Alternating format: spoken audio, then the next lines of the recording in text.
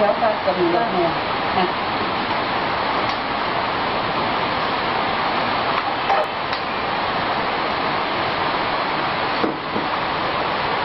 Đừng mạnh với đáy nhá nhẹ tay nhẹ nhẹ đúng rồi. Mình trộn đều hết cái vôi cho nó tan hết. Con cháo như đấy rồi đúng rồi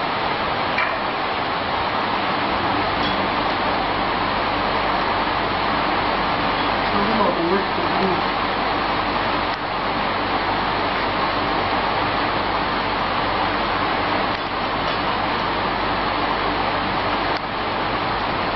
đúng rồi đấy nó vẫn nhưng mà phải ăn vẫn mềm ừ. nhưng mà